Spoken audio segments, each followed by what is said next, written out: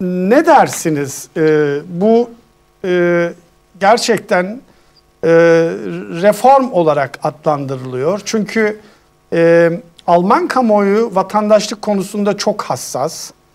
E, bu konuda e, endişeler siyaset kurumunda da var.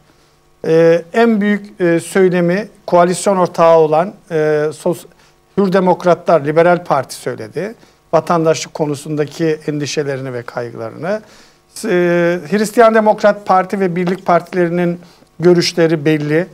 E, Hristiyan Demokrat Parti e, bu vatandaşlık yasası e, federal meclisten ve federal konseyden geçtikten sonra e, anayasa mahkemesine götüreceklerini ifade etti.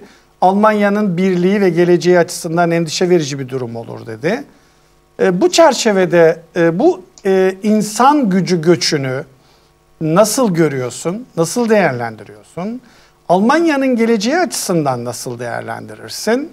Ve buna bağlı olarak insan gücü göçünü burada tutmaya çalışan Almanya siyasi otorite vatandaşlık, çifte vatandaşlık yasasında yeni düzenlemeler yani kolaylaştırma çerçevesinde yeni düzenlemeleri de e, e, kamuoyuyla paylaştı. E, bu çerçevede ne dersin?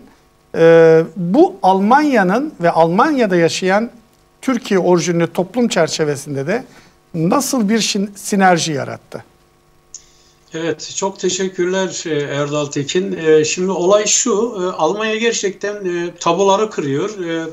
Vatandaşlıkta reforma gidiyor. İşte rötuşlar, son rötuşlar yapılmak üzere bakanlıklara gitmiş durumda ama kabineye gelmedi henüz bu vatandaşlık yasası, reformu. Ama yani büyük bir ihtimalle geçecek. Tabii ki karşı olan partiler de var. İşte Hristiyan Demokratlar siz bahsettiniz. Hatta koalisyon ortağı e, Hür Demokratlar buna sıcak bakmıyorlar. Oysa ki yani seçimlerden önce hükümet programında olan bir şey bu vaatti. Şimdi e, bu güzel bir gelişme. Ben bunu çok olumlu buluyorum. Birçok nedeni var tabii.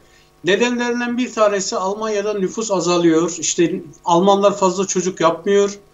Yani e, işte pandemiden dolayı stüdyodaki e, Yalçın arkadaş söyledi. Birçok insan işten atıldı, işten çıktı. Onları geri alamadılar. Bir de e, şimdi 1-3-2020'de kalifiye iş gücü yasası çıkarttılar. Oradan da Almanya umduğunu bulamadı.